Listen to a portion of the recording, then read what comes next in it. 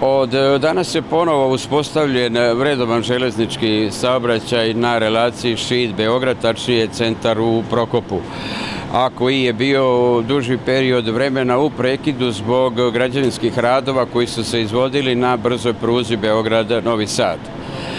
Planirano je da bude sedam polazaka po redu vožnje iz stanice Ši do Beograda i isto tako za nazad.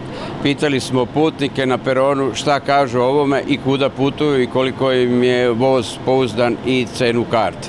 Ja putujem za Mitrovicu svaki dan, idem u školu, tako i bicikli uteram u voz isto.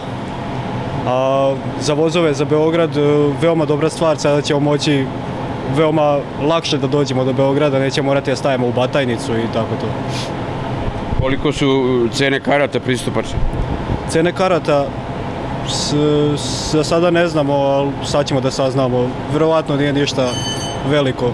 Cena karte nije skupa, duplo je jeftinija od karte autobusa i ja sam zadovoljna. Eto, to je sve. Dokle putuje? Do Sremske Mitrovice. Često ili? Ne često, samo ponekad. Koliko je voz udoban? Udoban je jako.